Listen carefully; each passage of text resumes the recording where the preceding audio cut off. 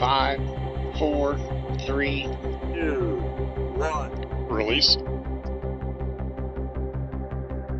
Good relate.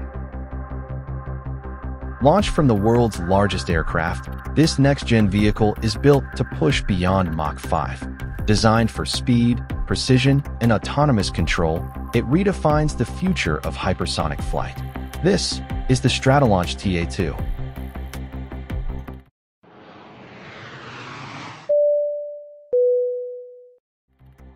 In the 1960s, the X-15 rocket plane made history by demonstrating hypersonic flight at speeds over Mach 5.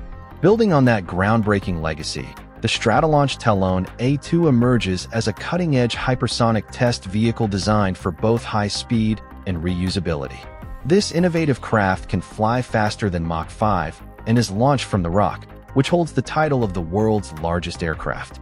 Measuring 28 feet in length with an 11.3-foot wingspan, the Talon A2 is powered by the Ursa Major Hadley engine, delivering 5,000 pounds of thrust.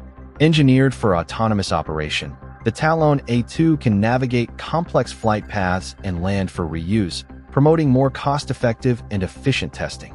Recent missions have successfully showcased the Talon A2's capabilities, conducting hypersonic flights from the Pacific to Vandenberg Space Force Base and emphasizing its impressive performance.